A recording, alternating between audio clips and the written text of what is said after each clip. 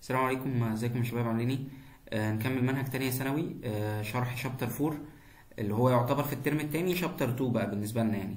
هو عبارة عن 2 lessons lesson بيتكلم على group 1A و lesson بيتكلم على group كام؟ group 5A طيب آه بداية قبل ما نتكلم على ده أو على ده إحنا أصلا بنتكلم على إيه في في ال chapter ده كله؟ بنتكلم على 2 blocks اللي هي block s خلاص كده؟ وهناخد منها group واحدة بس اللي اسمها group 1A وهناخد block p وهناخد منها group واحدة بس اللي هو group كام؟ group 5A تمام كده؟ لأن s وال p مع بعض اسمهم representative إيه elements. فإحنا هنبدأ النهارده في أول group اللي هي group كام؟ group 1A أول حاجة group 1A دول اللي هم اسمهم ال alkali إيه alkali metals تعال نعرف مين هم ال alkali metals بالترتيب هم عبارة عن إيه؟ هم عبارة عن فوق خالص هيدروجين ليثيوم صوديوم بوتاسيوم روبيديوم سيزيوم فرانسيوم خلاص كده لحد دلوقتي؟ طيب هنستبعد منهم أول واحد اللي هو مين؟ الهيدروجين. طب اشمعنى؟ لأن الهيدروجين non-metal لكنه محطوط في في ال group ديت معاهم عشان ال distribution بتاعه بينتهي بال1 group 1 إيه؟ كل ال distribution بتاعتهم بتنتهي بال n s كام؟ 1 بحيث إن ال n دي هي رقم الايه هي رقم ال period بمعنى أصح أنا لو جيت دلوقتي قلت لك element ال distribution بتاعه 1 s 1 يبقى معنى كده إن هو موجود في period number كام؟ في period number 1 اللي هو مين ده؟ ده الهيدروجين اللي أنا استبعدته فوق دلوقتي. طب افرض أنا رحت شايل ال1 دي كده ورحت قايل لك إيه؟ لا ده هو ال distribution بتاعه بينتهي بال2 s 1 يبقى أنا بتكلم كده على مين؟ على الليثيوم طيب آه طب افرض أنا شلت ال2 دي ورحت قايل لك لا ده أنا بتكلم كده على إيه؟ اللي هو ال distribution بتاعه بينتهي بال7 s 1 يبقى ده مين؟ ده الفرانسيوم خلاص كده؟ يبقى أصبح كده دلوقتي الرقم اللي بره ده هو بيعبر عن رقم الإيه؟ ال period period 2 period 3 period 4 وإحنا أصلا أقصى عدد من ال periods هم كام period 7 إيه؟ 7 periods بالترتيب هم مين؟ ليثيوم ال atomic number بتاعه 3 وصوديوم 11 وبوتاسيوم 19 وروبيديوم 37 وسيزيوم 55 وفرانسيوم إيه؟ 87 خلاص كده؟ طيب. نبتدي نتكلم عن ال abundance بتاعتهم ال nature يعني انتشارهم في الطبيعة موجودين بنسب قد إيه. فقال لك الصوديوم هنا ترتيبه the 6 element abundant element إيه in earth's crust يعني موجود في القشرة الأرضية وترتيبه السادس. طب تفتكر قبل السادس ده مش كان فيه أول وثاني وثالث ورابع وخامس؟ مين ال elements قبل كده؟ ال elements اللي قبل كده اللي موجودة بانتشار كبير عندك مثلا elements زي الاكسجين زي السيليكون زي الالومنيوم زي ال iron الحاجات دي كلها elements موجودة في الايه موجودة في ال nature أو في ال earth's crust بنسب إيه بنسب كبيرة. المهم إن من ضمن ال elements دول هو الصوديوم اللي هو ترتيبه كام 6 element abundant in earth's إيه crust ترتيبه السادس. أشهر compound موجود في الصوديوم اسمه sodium chloride أو اللي هو بنقول عليه اسمه ال rock salt الملح الصخري. يعني حضرتك كده تبقى نازل الجبل تلاقي فيه طبقات كده في الجبل وفي طبقة رفيعة خالص كده. الطبقه الرفيعه دي تلاقي لونها أبيض لو كسرت حتة منها بالشاكوش ودقتها كده على طرف لسانك هتلاقي ده طعمها مالح. فده اسمه الروك إيه؟ ال rock salt. خلاص كده لحد دلوقتي؟ ده بنقول عليه اسمه الملح الصخري. طيب إيه تاني element منتشر؟ البوتاسيوم ده 7 abundant element in earth's crust من من ضمن اللي هو مشهور أو موجود بترتيبه السابع. خلاص؟ أشهر compound موجود فيه البوتاسيوم هو ال potassium chloride ال KCl وموجود كمان في ال sea water في مية البحر موجود في حاجة اسمها ال carnallite deposits دي برضو بتبقى في الغالب عند الايه عند الشواطئ أو كده.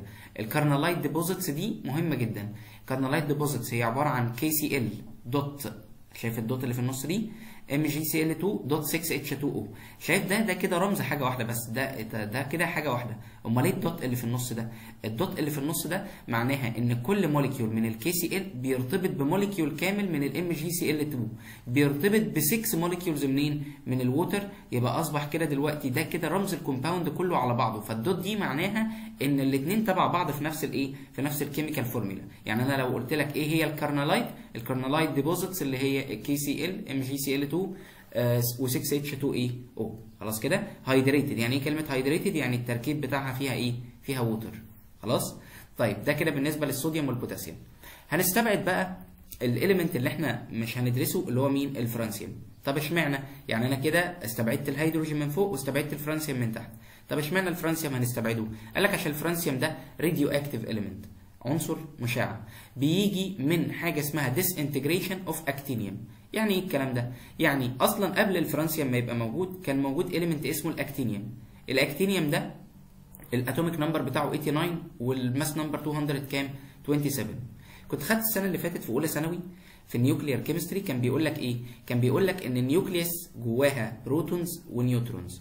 فلما عدد ال protons بيكون كتير ال protons بيعملوا repulsion force مع بعض فبالتالي ال nucleus بتحتاج إنها تتخلص من ال protons الزيادة اللي جواها فبتخرجهم في صورة حاجة اسمها بوزيترون خلاص؟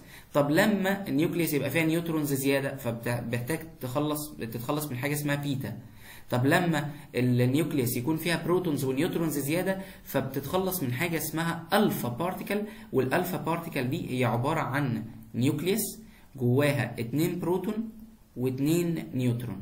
يا عم الحاج ده ده مكتوب هنا تحت اهو 2 بروتون 2 اهي وفوق 4 لا ما اللي تحت ده atomic number اللي هو ال protons واللي فوق ده mass number اللي هو مين ال mass number ده؟ اللي هو ال sum of protons and neutrons مجموع الاثنين مع بعض. خلاص كده لحد دلوقتي؟ طيب دي حاجة. بالنسبة للحاجة الثانية هي إن آه إن ال nucleus دي فيها 2 بروتون و2 نيوترون فالسميشن بتاعهم يدينا كام؟ يدينا 4 يبقى أصبح كده دلوقتي أنا بقول عليه ده helium. وركز بقى في الكلمة دي. helium إيه؟ nucleus طيب أنا ليه قلت helium nucleus وهل ينفع أقول بدل helium nucleus helium atom؟ طبعا لا ما ينفعش. طب اشمعنى؟ لأن helium atom معناها إن فيه protons و neutrons وبيدور من بره كمان electrons. لكن هنا الأكتينيوم ده لما خرج إشعاع أو خرج alpha particle خرج helium nucleus يعني خرج 2 بروتون و2 نيوترون بس لكن ما خرجش أي إيه؟ أي electrons. يبقى أصبح كده ال electrons ثابتة. فهنا دلوقتي الأكتينيوم ده آه ال 89 ده ده عدد ال protons هينقص 2 عشان هي هيطلع 2 protons فيبقى 87 ال mass number 227 هينقص 4 اللي هي 2 بروتون و2 نيوترون يعني فيبقى 200 كام؟ 20 إيه 23 خلاص كده؟ كل المعلومات اللي نعرفها عن الفرانسيوم ده ال atomic number بتاعته نعرف له مثلا ال approximate atomic mass بتاعته اللي هو 223 نعرف ال half life time بتاعه إن هو 20 minute يعني إيه بقى كلمة half life time equal 20 طيب ال half life time دي برضو خدتوها زمان. يعني إيه كلمة half life half life يعني آه أنا عندي مثلا لو في روك الصخر دوت فيه آه وليكن آه 100 atom خلاص كده؟ ال 100 atom دول بيكونوا unstable خلاص كده؟ ال 100 atom دول بيمر بحاجة اسمها half life time فترة عمر النصف بتاعته اللي هي 20 minute فبعد 20 minute يتقسم ل 50 atom بقوا stable و50 atom لسه unstable خلاص كده؟ اللي بقوا stable خلاص سيبك منهم. خلينا في الايه؟ في ال unstable دول. ال unstable هيقعدوا 20 minute كمان ويتقسموا كمان ل 25 stable و25 unstable سيبك من ال stable خلينا مع ال unstable يتفككوا بعد 20 minute وهكذا. فبيفضل ال element يحصل له disintegration تفكك أو بيبتدي يحصل له آه حاجة اسمها decomposition إن ال element بي بيتحلل أو بينقسم يطلع لك elements جديدة عن طريق إن هو بيتحول لإيه؟ لأن ل stable و unstable. ال unstable بيفضل مكمل ال radiation إيه؟ بتاعه. خلاص كده؟ عشان كده بما إن ال half life time بتاعه 20 minute فإحنا مش بنلحق ندرس حاجة للفرانسيوم فبالتالي ما نعرفش معلومات كافية عنه آه غير إنه برضو ال properties بتاعته similar لمين؟ للسيزيوم خلاص كده؟ طيب آه تعال نشوف هنا test yourself بيقول لي which of the following alkali metals the mass of sample of it decreases over time. مين في دول؟ ال mass بتاعته بتقل مع الوقت. طبعا الحاجة اللي, مش ثابتة اللي هي ال radioactive يبقى مين ال radioactive اللي فيهم؟ هو الفرانسيوم هندرس بقى لل alkaline metals هندرس ليهم إيه؟ 10 properties إيه هم ال 10 properties دول؟ presence of single electron in outermost عندهم 1 الكترون في ال outermost إيه تاني؟ ال atoms بتاعتهم ليهم largest atomic radius. ليهم characteristics colors أو atomic spectra. وكل واحدة بالتفصيل هنقولها. إيه تاني؟ affected by air affected أو react with water react with oxygen react with hydrogen with acids with non-metals. And هنتكلم على ال oxygenated salts بتاعتهم ال thermally أو ال thermal stability بتاعتهم. واحدة واحدة كده دلوقتي هنبتدي في أول إيه؟ أول property اللي هي اسمها presence of single electron in outermost. كله كلام منطقي جدا ومفهوم. بيقول لك إن group 1A ال distribution بتاعهم كلهم بينتهي بال ns 1 فبالتالي عندهم كام في ال outermost؟ عندهم 1 نتج عن ال1 الكترون اللي في ال outermost ده شوية حاجات كتيرة. إيه هي؟ أول حاجة إن كل element في group 1A موجود at the beginning of new period موجود في أول period. يعني مثلا أهو period number 2 الليثيوم أهو period number 3 الصوديوم أهو period number 4 هنلاقي البوتاسيوم وهكذا. طيب إيه تاني؟ قال ال oxidation number بتاعهم plus 1 يعني إيه كلمة plus 1 يعني they tend to lose 1 electron during the chemical reaction. بيعملوا lose لل1 ده. فلما يعملوا lose لل1 ده يدوا oxidation number ثابت plus 1 ثابت. يعني إيه كلمة ثابت plus 1 يعني هو مش هيتغير. هيفضل طول عمره plus 1 فلما أجي أقول لك الصوديوم بي lose كام؟ تقول لي إيه؟ plus 1 البوتاسيوم بي lose كام؟ plus كام؟ plus 1 خلاص كده لحد دلوقتي. بعكس في بعض ال elements بتعمل lose لعدد مختلف من ال electrons زي مثلا ال iron ال iron وارد إن هو يكون iron plus 2 ووارد إن هو يكون iron plus 3 ممكن يمشي ده أو ده. خلاص كده؟ فأصبح كده دلوقتي هم بيدوا oxidation number ثابت plus كام؟ plus 1 طب نتج عن ال plus 1 ده إيه برضو؟ قال لك إن ال first ionization potential بتاعهم is less than any other elements. طب ليه؟ هم أصلا عندهم في ال outermost 1 فهم عايزين يعملوا lose لل1 ده. فلما هيعمل lose هيتحول لل nearest noble gas ويبقى stable يبقى مستقر. خلاص كده؟ طيب يبقى ال first ionization بتاعه very low أو أو سمول طب يعني إيه بقى الكلام ده؟ يعني أصلا ionization ionization يعني أنا بجيب ال element بدي لل element ده إيه؟ energy فلما أديله ال energy يبتدي يعمل إيه؟ يبتدي ي lose الإلكترون بتاعه اللي في ال outermost طب هل group 1A عشان تعمل lose للإلكترون ده هتعمل lose للإلكترون ده بصعوبة ولا بسهولة؟ هو عايز أصلا ي lose الإلكترون عشان يبقى stable يبقى شبه ال noble gas. فبالتالي هي lose الإلكترون بسهولة يعني ب energy قليلة جدا يبقى low energy خلاص كده؟ فال first ionization potential بتاعه is less than that of other إيه of any other element. خلاص كده لحد دلوقتي؟ طيب طب إيه تاني؟ قال لي ده بيعمل لي chemical activity ل group 1A إن هم they are very active elements نشيطين جدا لأن هم they tend to lose الايه الإلكترون ده. طب هو عمل lose للإلكترون ده؟ وعايز يعمل lose لإلكترون تاني فال second ionization بتاعه هيبقى إيه؟ قال لك هيبقى very high طب اشمعنى؟ لأن هو لما هي lose الإلكترون هيبقى شبه ال noble gas. طب لما أجي أعمل lose تاني من من من حاجة stable هيعمل lose للإلكترون بسهولة؟ طبعا لا. هيحتاج energy ضخمة جدا. خلاص كده؟ فبالتالي أنا ممكن أقول لك إن ال first ionization بتاعهم وليكن مثلا 500 كيلو جول لما أقول لك ال second ionization هتلاقي الرقم ضرب في العالي بقى إيه؟ 10000 خلاص كده؟ فال difference ما بين ال first وال second difference كبير إيه؟ difference كبير جدا. بيحاول يقربها لك هنا بال graph ده إنه جايب لك هنا أقل first ionization هو الليثيوم والصوديوم والبوتاسيوم والروبيديوم وأعلى first ionization هتلاقي هم ال noble gases اللي هم stable اللي هم الهيليوم والنيون والأرجون وال... والكريبتون وهكذا. خلاص كده؟ طيب نتج كمان عن إن هم عندهم 1 الكترون في ال outermost وبيعملوا lose لل1 الكترون ده مش هم بيعملوا lose يبقى بيحصل لهم إيه بقى process عملية اسمها إيه؟ في الترم الأول قال لك لما ال element يعمل lose يبقى بيحصل له process اسمها oxidation خلاص كده؟ يبقى lose يعني oxidation طب لما يبقى يبقى lose oxidation يبقى هو أنهي agent بنعكس على طول. يبقى هو reducing agent وكمان strong reducing agent طب very strong reducing agent ليه؟ لأن هو أصلا هيموت وي lose الإلكترون ده. فبمجرد ما يجي يعمل reaction مع حاجة هيديله الإلكترون بسهولة. فيبقى عمل lose بسهولة يبقى هو very strong reducing إيه agent خلاص كده؟ طيب يبقى هو because of their ability to lose إيه the valence electrons إيه easily. بي lose ال electrons بسهولة. طالما بي lose الإلكترون ده يبقى هو metal فبيكون ionic compounds خلاص كده؟ شبه ال noble gas precedes it. شبه ال noble gas اللي بيسبقه. ركز في كلمة precedes. precedes يعني يسبقه. يعني إيه الكلام ده؟ يعني مثلا صوديوم 11 لما ي lose ال1 الكترون هيبقى 2 هو كان 2 8 1 لما نشيل ده هيبقى 2 8 بس. فرجع فبقى شبه النيون 10 فهو شبه ال noble gas اللي قبليه. كان 11 بقى 10 يبقى بقى similar لل electronic configuration بتاع ال nearest noble gas which precedes it. طيب هم عندهم 1 الكترون في ال outermost فبالتالي بيكونوا bond اسمها metallic bond بس weak cohesive metallic bond أو weak cohesive force يعني إيه الكلام ده؟ طبعا حضرتك ناسي يعني إيه أصلا metallic bond مع انها كانت لسه في الدرس اللي قبل ده. بص يا سيدي ال metallic bond هي عبارة عن إيه؟ لو افترضنا إن أنا عندي حتة صوديوم حتة الصوديوم دي بيكون فيها positive ion أو اللي هو بنقول عليه nucleus مثلا وبيدور حواليها من بره إيه؟ الكترون طب هو أنا لما بيكون معايا حتة صوديوم زي اللي في الصورة دي هل بيكون فيها atom واحدة ولا فيها atoms كتيرة؟ طبعا فيها atoms كتيرة فبالتالي كل atom فيها nucleus وبيدور حواليها إلكترون nucleus وبيدور حواليها إلكترون nucleus وبيدور حواليها إلكترون nucleus وبيدور حواليها إلكترون وهكذا. نتج من ال electrons اللي هم ال negative اللي بره وال nucleus أو اللي هم ال positive ions اللي جوه attraction force ما بينهم كلهم. فكنا بنشبهها المرة اللي فاتت بإيه؟ كنا بنشبهها بإنها كإنها قوالب طوب. خلاص كده؟ وفي أسمنت في النص بيربطهم ببعض. بس أنا عندي هنا الأسمنت عبارة عن إلكترون واحد. فبالتالي 1 الكترون يعني ال metallic bond دي إيه؟ weak metallic bond فحتى كنا بنقول على إن ال hardness بتاعتهم 0.5 في Mohs scale ماشي؟ اللي هو الصوديوم. آه سهل إن أنت تقطعه بإيدك أو تقطعه ب knife أو كده.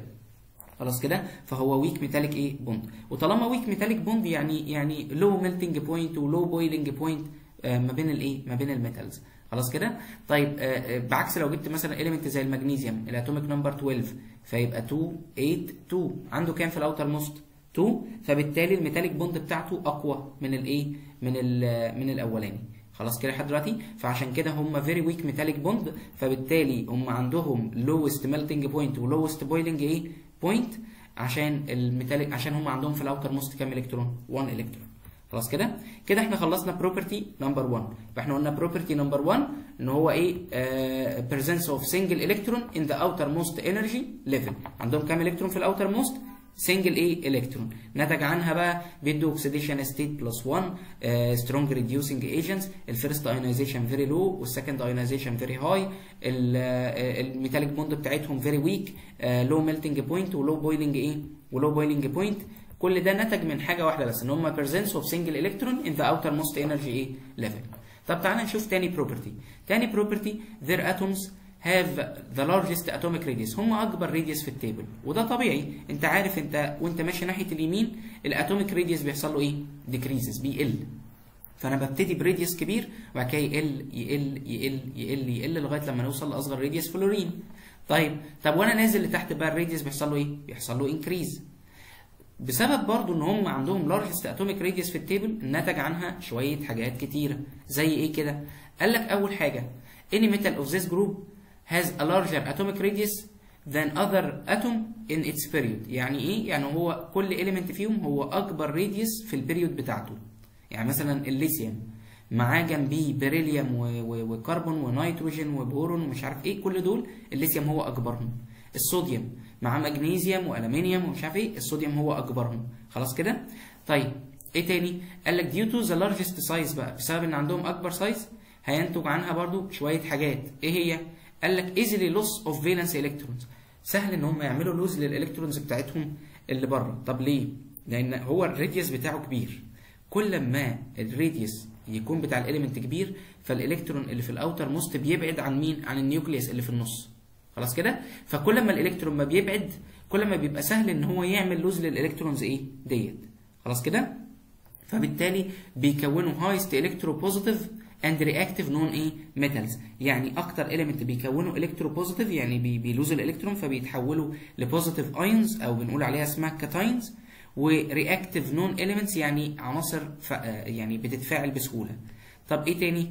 قال لي نتج عن إن هم ليهم largest radius بقية ال properties low اللي هي إيه؟ very low electronegativity compared to other elements. عندهم very low أي property تانية electron affinity very low ال ionization طبعا very low.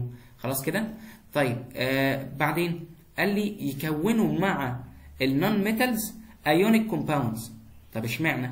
يعني إيه ionic ionic يعني ال difference في ال electronegativity يكون رقم greater than 1.7 طب كويس. أنا عندي دول metals ال electronegativity بتاعتهم very low هيرتبطوا ب non-metal ال non-metal بتاع ال electronegativity بتاعته high فلما مش هقول very high هقول high بس. فبالتالي لما نجيب واحد اليمنت قوي في الالكترونيجاتيفيتي واليمنت ضعيف جدا في الالكترونيجاتيفيتي الديفرنس أكيد يبقى أكبر من 1.7 فبالتالي هيكونوا إيه؟ ionic إيه؟ compounds strong ionic compounds طيب آه عندهم low densities طب إيه علاقة ال density دلوقتي؟ هو مش في قانون بيقول إن ال density equal mass over volume طب هو مش ال volume ده اللي هو ليه علاقة بال radius كل ما ال radius ما بيكبر يبقى معناه إن ال volume بيزيد. طب إيه العلاقة ما بين الفوليوم والدينستي كل ما الفوليوم ما يزيد الراديوس يعني يزيد الدينستي بتاعتهم بيحصل لها إيه؟ decrease يبقى they have low إيه low densities حتى لو جبت حتة صوديوم رميتها في مية هتلاقيها بتعمل float بتطلع فوق سطح المية. لو جبت حتة بوتاسيوم رميتها في مية هتلاقيها بتفرقع فوق سطح المية. يبقى أصبح كده low إيه they have low إيه density طيب إيه تاني؟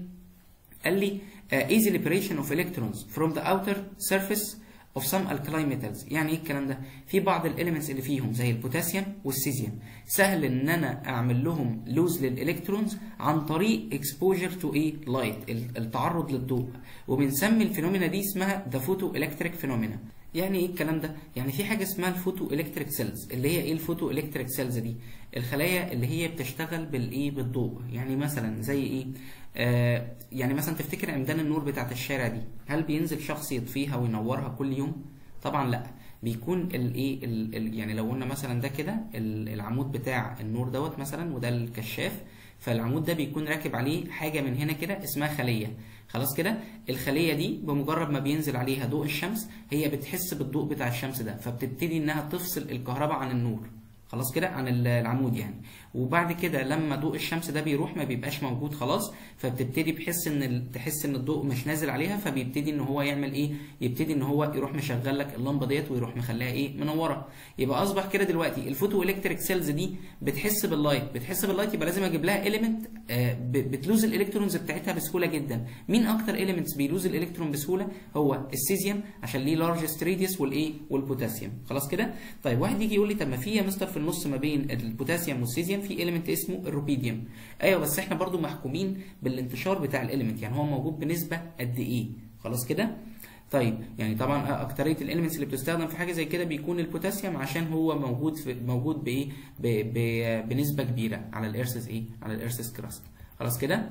تعال نشوف السؤال ده. بيقول لي lithium element is not used in photoelectric cells. طب أنا ليه ما بستخدمش الليثيوم طبعا عشان الليثيوم ال radius بتاعه صغير فصعب إن هو ي lose ال electrons بتاعته أو مش بي مش بيعمل lose بسهولة زي بقية الايه ال elements قال لي عشان ال ionization is high compared to light energy ولا عشان ال radius بتاعه large طبعا ال radius بتاعه large دي غلط. ولا ال electronegativity high برضه غلط. electronegativity low ولا ال valence shell contains only 1 الكترون طب ما هو معناه إن هو عنده 1 الكترون يبقى يستخدم في ال photoelectric cells يبقى برضه غلط. يبقى الإجابة هتكون إيه؟ فده معناه إيه بقى؟ ال ionization potential بتاعته high الجهد بتاعه عالي بي lose ال electrons بطاقة كبيرة شوية. فبالتالي ال energy لما تكون كبيرة compared to ال light ال light الطاقة بتبقى ضعيفة شوية فمش هي مش هي مش هي lose ال electron عن طريق ال light بيحتاج طاقة إيه؟ أعلى. فعشان كده مش بيستخدم في ال photoelectric إيه؟ في ال photoelectric cells تمام؟ طيب ال property الثالثه إحنا كده خلصنا إيه؟ خلصنا إن هم they have one electron in outermost energy level. إيه تاني؟ قلنا they have largest atomic إيه radius وكل واحدة بيترتب عليها شوية حاجات. طيب إيه تاني؟ قال لك عندهم atomic spectra. يعني إيه atomic spectra آه أو حاجة اسمها dry detection. كان في عالم في الترم الأولاني خدناه كان اسمه بور. بور كان بيجيب ال element يديله إيه؟ يديله energy فبالتالي الإلكترون اللي في ال element يبتدي يحصل له excitation يطلع الإيه؟ الإلكترون ده لل level إيه؟ أعلى. فلما الإلكترون يطلع ل level عالي يبتدي ي lose ال quantum اللي هو خده ده ويبتدي ال electrons يرجع لطبيعته فوهو الإلكترون راجع كان بيعمل emission إشعاع ل radiation. ال radiation ده كان فيه ثلاث أنواع منه ultraviolet و infrared و visible إيه؟ و visible spectrum خلاص كده؟ نفس الفكرة. هنا ال elements دول لما بنيجي نديلهم quantum of energy تبتدي ال electrons بتاعتهم يحصل لها excitation تسيب ال levels بتاعتها وتطلع ل levels أعلى. ال electrons وهي راجعة تاني لل normal أو لل ground state وهي راجعة تاني للل level الطبيعي بتاعها تبتدي تعمل emission لل quantum اللي هي خدته فال emissions دي بتخرج في صورة إيه؟ في صورة أشكال أو ألوان للإيه؟ لل flame طب إحنا بنعمل التجربة دي إزاي؟ بص يا سيدي إحنا بنجيب salt ماشي؟ يعني بتروح مثلا إيه في المعمل كده ضارب البلطو بتاعك وواخد salt كده ال salt ده unknown آه مجهول بالنسبة لك ما تعرفش إيه الحاجة اللي فيه. والدكتور بيقول لك أنا عايز أعرف إيه هو الكاتاين اللي موجود جوه هنا. الكاتاين ده ممكن وارد يكون ليثيوم صوديوم بوتاسيوم سيزيوم ممكن يكون أي حاجة من دول. ففي حاجة اسمها dry test أو ال dry أو ال flame test بنجيب حاجة اسمها Bunsen flame ماشي؟ و Bunsen flame ده مش عشان هو اسمه بنزين فهو بيكون فيه بنزين لا هو الفكرة كلها إن هو بي بي بيعمل burning لل fuel بيعمل آآ بيحرق الوقود اللي داخل دوت بس complete combustion فبيطلع حاجة pure خلاص كده ما فيهاش ما فيهوش أي دخان أو كده. Bunsen flame ده بنروح جايبين حاجة اسمها platinum wire سلكة بلاتين. السلكة دي نروح شايلين بيها ال salt ونروح حاطينها على النار نقربها من الحتة دي كده. اللي هي ال non-illuminated إيه region بمجرد ما نقربها من النار لو لقيت لون ال flame بتاع ال Bunsen اتحول للون crimson اللي هو إيه ال crimson ده؟ اللي هو أحمر قرمزي أو اللي هو بنقول عليه زي مثلا زي نبيتي كده مثلا. خلاص؟ آه يبقى ده ليثيوم طب لو ادانا لون golden yellow يبقى ده صوديوم طب لو ادانا لون pale violet يعني بنفسجي باهت يبقى ده بوتاسيوم طب لون bluish violet بنفسجي مزرق يبقى ده إيه؟ سيزيوم خلاص كده؟ آه كده إحنا عملنا حاجة اسمها ال dry إيه ال dry test خلاص كده؟ بس في حاجة ال platinum wire must be cleaned لازم تتنضف أول بأول. ليه؟ يعني لازم ال platinum wire دي نحطها في hydrochloric acid and clean it طب ليه؟ لأن ال platinum wire ده وارد لما أنت تيجي تعمل تجربة بعد كده. وبعدين تحطها على النار تلاقيها راحت مديالك مثلا لون crimson وبعد كده قيس فجأة قلبت لون golden yellow واللون ثبت على golden yellow طب ده معناه إيه؟ هتقولي ده فيه ليثيوم وصوديوم لا هو فيه كاتاين واحد. امال جه الليثيوم ده منين؟ اللون ال crimson ده جه إزاي؟ اصل كان في حد قبلك كان عامل التجربة وما عملش cleaning لل platinum إيه؟ wire ما نضفهاش كويس فبالتالي في في بواقي من ال salt بتاع الليثيوم لسه موجودة على البلاتينم إيه؟ ال platinum wire فعشان كده بنقول لازم نعمل لها إيه؟ cleaning عن طريق ال hydrochloric إيه؟ acid خلاص كده؟ دي كده property number كام؟ number 3 تعال ندخل بقى في property number كام؟ number 4 بيقول لي effect of atmospheric air. هل بيعملوا reaction مع ال air؟ طب تعالى نشوف هيعملوا reaction إزاي مع ال air؟ إيه أكتر حاجة أكتر element موجود في ال air؟ هو النيتروجين N2 خلاص كده؟ فبالتالي لما آه طبعا ال N2 وال O2 هما بيحصل لهم oxidation مع الاكسجين oxidized easily بيفقدوا ال luster بتاعهم بسهولة. يعني شايف كده الصوديوم؟ شايف ده؟ الحتة دي بتلمع جدا. والحتة اللي فوق دي مصدية عاملة rust مش بتلمع. ليه؟ عشان اللي فوق ده exposed to إيه air متعرض للهواء فبي lose ال luster إيه بتاعه. خلاص؟ بيتفاعلوا مع الأكسجين وبي lose ال luster. كمان بيعملوا reaction مع النيتروجين. اللي هو النيتروجين ده بيبقى N2 خلاص كده؟ طبعا الليثيوم ده Li والنيتروجين N2 فيتحدوا مع بعض يكونوا لي Li3N إزاي جه الرمز ده؟ الليثيوم ده في group كام؟ group 1A طب والنيتروجين في group كام؟ في group 5A طب النيتروجين في group 5A يبقى بي gain كام إلكترون؟ بي gain 3 بياخد 3 electrons. فلو عملنا cross فال Li هتاخد 3 وال N هتاخد 1 يطلع ال Li 3 N يبقى أصبح كده أنا عملت reaction Li plus ال N 2 طبعا النيتروجين جاز لازم يبقى N 2 خلاص كده؟ مين عندك هم ال elements اللي بيبقوا 2 عندك اكسجين O 2 ونيتروجين N 2 وهيدروجين H2 وعيلة إين بقى. مين عيلة إين؟ fluorine F2 chlorine Cl2 bromine Br2 iodine I2 هم ال seven elements دول اللي بيبقوا موجود في موجودين في صورة di إيه؟ diatomic يعني 2 atoms هيديني Li 3N ده الرمز ده ثابت ما بيتغيرش. طب ليه Li 3N؟ عشان الليثيوم بي lose 1 والنيتروجين بي gain كام؟ بي gain 3 وبعد كده نعمل balance عندي مدخل هنا ليثيوم واحدة ومخرج هنا ليثيوم 3 فنحط هنا 3 جاي مدخل هنا N2 ومخرج N واحدة فنحط هنا 2 طب ما أنا كده عكيت الليثيوم فاضطريت إن أنا 2 times 3 أحط هنا كام؟ أحط هنا 6 ليثيوم زي ما هي ما مكتوبة إيه قدامي. خلاص كده؟ أنا بحاول أفهمك ال equation جت إزاي. اللي بيطلع ده اسمه ليثيوم nitride اللي بيطلع ده اسمه ليثيوم إيه؟ nitride ركز بقى معايا عشان في كام حاجة كده لازم تحفظهم. في فرق ما بين كلمة nitride دي كده معناها N. ماشي؟ N negative كام؟ 3 يعني بي gain 3 electrons وما بين كلمة ثانية اسمها nitrate. nitrate N O 3 negative 1 وما بين كلمة ثانية اسمها nitrite. دي N O 2 negative إيه؟ 1 خلاص كده لحد دلوقتي؟ طيب يبقى دول الايه ال groups المهمة لازم تحفظهم. طيب هنجيب ال Li 3 N ده اللي هو اسمه ليثيوم nitride ماشي؟ وفعله مع مين؟ مع ال water. هيدينا إيه؟ ال اي أو اتش طب واخد بالك ال compound ده آخره إيه في الآخر؟ O H O H يعني acid ولا base إيه O H يعني base اللي بيبقى آخره H بيبقى acid اللي بيبقى أوله H قصدي بيبقى acid خلاص كده؟ لكن ده O H يبقى ده base base أو اسمه alkali طب ما هو أصلا group 1 A كلها اسمها alkali metals يعني بيكونوا alkaline solutions plus إيه الجاز اللي طلع ده؟ اللي هو اسمه ال ammonia gas N H كام؟ N H 3 خلاص كده؟ خد بالك الامونيا مهم جدا في المنهج. لو ما سألكش عنه في ال equations هيسألك عنه في ال lone pair وفي ال bond pairs وفي ال bond وال وفي ال وفي ال compounds اللي بيكونها أنواع ال bonds اللي فيها وفي ال angle وفي ال stereo structure فهو بيسألك عن كذا حاجة فيه خلاص كده؟ طيب هنا بيقول لك بقى ال group 1 a طبعا are kept under the surface of إيه كيروسين وفي مادة تاني غير الكيروسين اسمها paraffin oil خلاص كده؟ يبقى هم بيتحفظوا يا في كيروسين يا إما في بارافين إيه؟ oil زيت بارافين. طب اشمعنى to prevent the reaction with humid air عشان ما يتفاعلوش مع الهواء اللي فيه إيه؟ رطوبة لأن هم high chemical إيه؟ activity نشيطين إيه؟ جدا. من كتر ال activity بتاعتهم بيعملوا كمان reaction مع مين؟ مع ال water إزاي؟ قال لك يعني مثلا group 1 a إحنا عندنا فيهم ليثيوم وصوديوم وبوتاسيوم والكلام ده كله. في حاجة اسمها electrochemical series اللي هي كنت خدتوها زمان كان اسمها C A S chemical activity series متسلسلة كده ال elements مترتبين according to their degree of activity. بحيث إن إحنا بنبدأ بفوق بال elements ال active زي الصوديوم والبوتاسيوم والحاجات دي وتلاقي في تحت هنا الهيدروجين وتحت خالص ال copper والمش عارف وال silver وال gold وهكذا. ال elements اللي فوق more active فبيقدروا يعملوا replace للهيدروجين لأن هم أنشط من الهيدروجين طب أنا هجيب دلوقتي metal من group 1 a اللي هم ال alkali metals دول واخليهم يعملوا reaction مع ال water زي مين كده؟ زي الصوديوم. ودي أشهر تجربة بتحصل في الإيه؟ في المعامل. تمام؟ بنجيب حتة صوديوم ونحطها في ال water إيه اللي بيحصل؟ الصوديوم ده is more active than إيه؟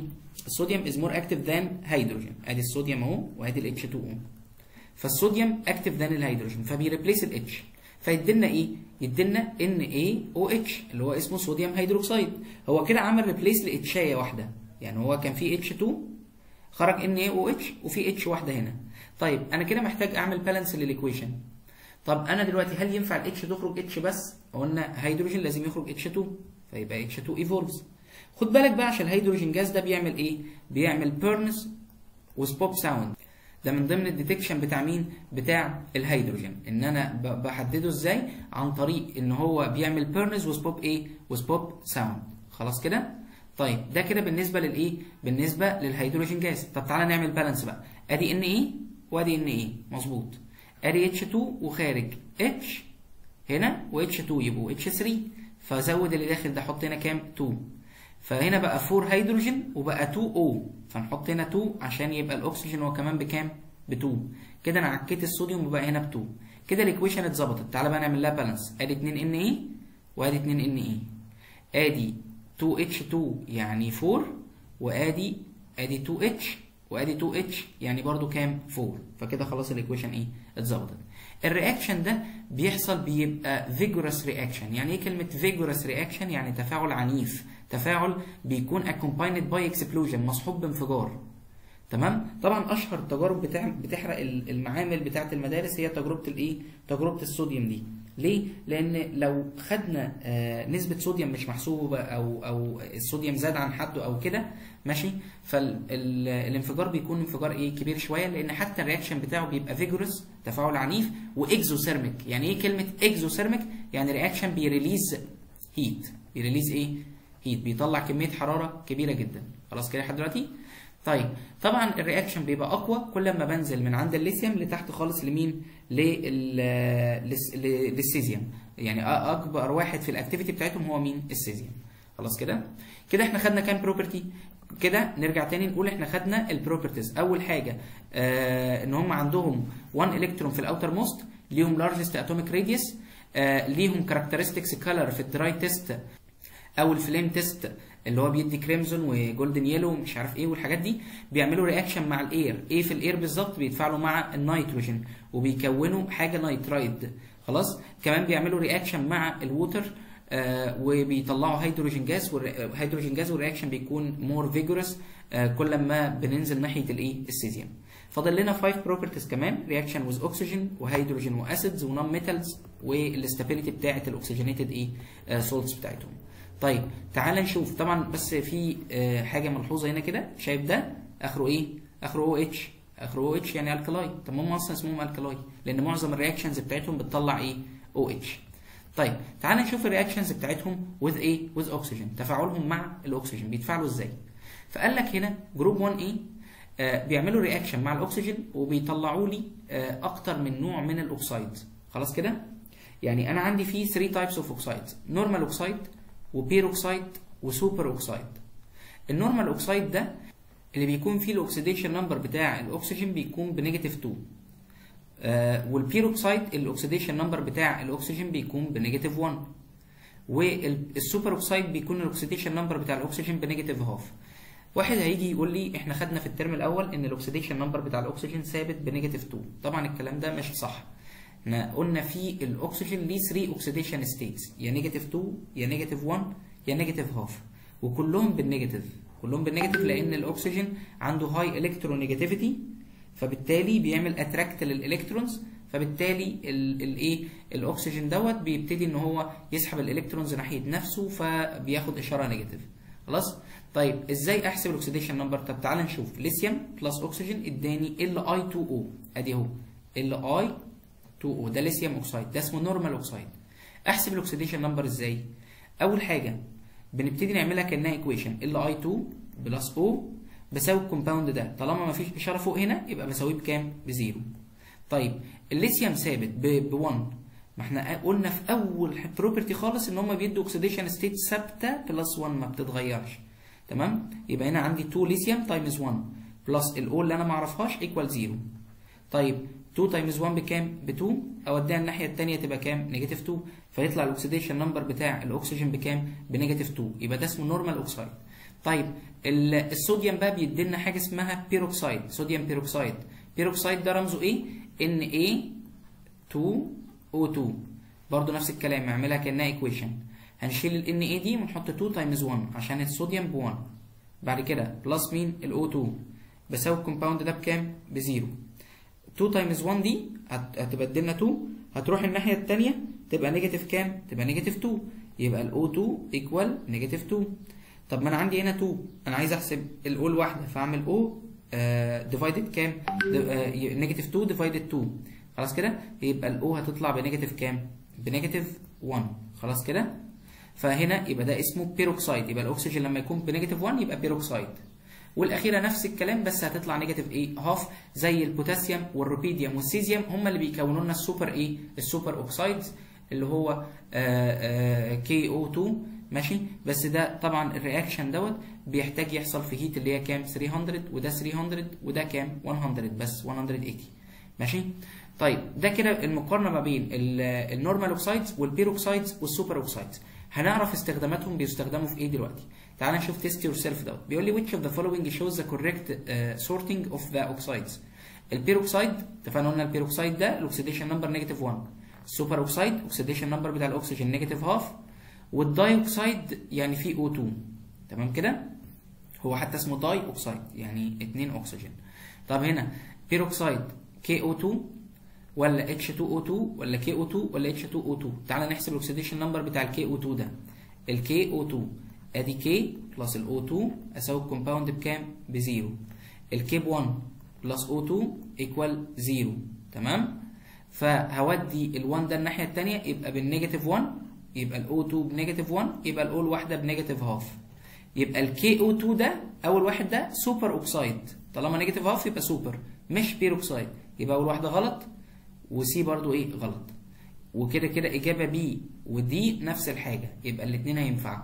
طب تعال نشوف ال super oxide ال super oxide negative half إحنا لسه قايلينها ال KO 2 يبقى الإجابة هتكون إيه؟ هتكون B خلاص كده؟ ال PbO 2 آه طبعا ال Pb بيكون آه هنا آه الأكسجين هو اللي ب negative 2 ماشي؟ فده اسمه normal oxide وال Pb هنا plus 4 خلاص؟ فده ده غلط. يبقى الإجابة هتكون إيه؟ هتكون B تعال نشوف بقى استخدامات ال peroxide وال super oxides بما انهم فيهم اكسجين كتير فبنستخدمهم as strong strong oxidizing agents. يعني إيه كلمة strong oxidizing agent عارف والله أول حاجة مخك هتروح تقول بيحصل له reduction صح مش غلط. بس أنا عايز أترجمه بطريقة تانية. strong oxidizing agent معناها مادة بتدي الأكسجين gives oxygen. خلاص كده لحد دلوقتي؟ فبالتالي هو بيقول لك ال peroxide compounds react with water و with acids producing hydrogen peroxide. يعني إيه الكلام ده؟ تعال نشوف بقى ده. بيقول لك إيه؟ أول حاجة Na2O2 ده طبعا sodium peroxide بيتفاعل مع ال water يدي لك NaOH برضو هنا ده إيه؟ alkali خلاص؟ و H2O2 ال H2O2 ده بنقول عليه اسمه hydrogen peroxide ليه اسم تاني غير كلمة hydrogen peroxide ال hydrogen peroxide ده ده بيستخدم في بيتباع في الصيدلية اسمه ميه اكسجين خلاص كده؟ نفس الكلام ال Na2O2 بيتفاعل مع ال acid ال HCl يدي لك هنا NaCl و H2O2 يعني يدي لك hydrogen peroxide طب تعالى نشوف ال similarity ما بين ال two equations ال two equations ادوا لك في الآخر H2O كام؟ O2 لكن واحدة ادت لك alkali ده different بقى. والثانيه ادت لك إيه؟ salt تمام؟ بنفس الفكرة ال super oxides compounds react with water و acids برضه producing hydrogen peroxide بس الفرق إن هنا هيدي لنا إيه؟ هيدي لنا oxygen gas خلاص كده؟ يعني برضه هيدي لك هنا ده hydrogen peroxide بس ده super oxide KO 2 و KO 2 خلاص كده؟ مع ال water ومع ال HCl مرة يديك alkali نفس الكلام و hydrogen peroxide واكسجين ومره يدي لك salt و hydrogen peroxide وايه تاني؟ اكسجين يعني إيه أصلا كلمة salt salt يعني metal مرتبط بإيه؟ ب non-metal خلاص كده؟ يعني مكونين ionic إيه؟ ionic bond تمام؟ طيب طب استخداماتهم بقى بنستخدمها في إيه؟ طبعا أنت خدت بالك إن هم بيطلعوا اكسجين هم ال source بتاع الاكسجين فعشان كده بنقول عليهم اسمهم strong oxidizing agents خلاص؟ فبنستخدم مثلا حاجة زي ال potassium super oxide ده في ال closed areas في في المناطق اللي هي الايه المناطق اللي هي المقفولة. طب اشمعنى؟ عشان بيعمل purifying لل air بينقي الهواء. طيب زي مين؟ زي ال submarines اللي هي الغواصات وال airplanes الطيارات. فدول بيكون فيهم نسبة من ال carbon dioxide مثلا لأنه مكان مقفول والناس بتتنفس جوه فبالتالي بيكون فيه carbon dioxide كتير. فال carbon dioxide ده نبتدي إن إحنا نسحب الهواء اللي في المكان ده آه ويعدي على filters الفلاتر ديت بيكون فيها potassium super oxide فأدي ال potassium super oxide أهو KO 2 مع ال carbon dioxide اللي جاي من ال air في وجود catalyst يتحول ل K2CO3 plus إيه الجاز اللي طلع ده؟ اكسجين يعني أنا حولت ال potassium super oxide ماشي؟ خليت في الآخر خالص. بدل ما كان داخل carbon dioxide حول حولته بقى إيه؟ بقى اكسجين خلاص كده؟ طيب ده كده بالنسبة للإيه؟ للاستخدامات بتاعة ال oxides بتاعتهم. ال preparation بقى بتاعتهم preparation of oxides of alkali metals إزاي نحضرهم قال لك بنحضر ال normal oxides بتاعتهم آه بتاعت ال alkali metal by dissolving metal in liquefied ammonia then adding calculated amount of water. ندوب الأول ال metal في أمونيا وبعد ما ندوبه في. في الأمونيا نحط له إيه؟ آآ نحسب له كمية الايه الأكسجين. خلاص كده؟ نضيف له كمية أكسجين معينة. ده ال normal oxide ال ideal oxide بقى اللي هو الطبيعي اللي هو عبارة عن إيه؟ عبارة عن metal بيت... بيتحرق في وجود الإيه؟ الأكسجين فبيطلع لك ال metal oxide. خلاص كده؟ طيب. آه طبعا ال metal oxides دول أو اللي هم بتوع group 1 a بيكونوا strong basic إيه؟ oxide. لما بيتفاعلوا مع ال water بيكونوا لك إيه؟ strongest alkaline solution except ما عدا الوحيد اللي فيهم weak Li 2 O خلاص كده؟ طيب. test yourself بيقول لي what is the similarity between the reactions of potassium superoxide and uh, uh, with both water and hydrochloric acid? إحنا هنجيب دلوقتي إيه؟ ال superoxide. هنحطه مرة على ال water ومرة على الإيه؟ على ال acid. إيه التشابه؟ هل الاثنين هيدوا لنا salt و water تعالى نطلع فوق ونشوف. أدي أهو أدي ال superoxide مع ال water وأدي ال superoxide مع ال hydrochloric acid.